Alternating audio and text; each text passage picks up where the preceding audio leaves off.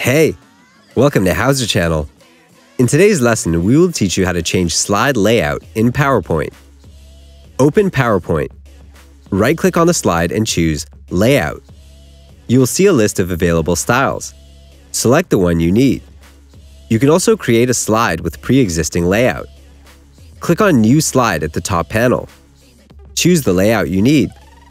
You can change the layout as many times as you need. Right-click on the slide and choose Layout. You will see a list of available styles. Select the one you need. That's it. Thanks for watching the video. Please like it and let us know if you use any of our tips and tricks. Subscribe to our channel.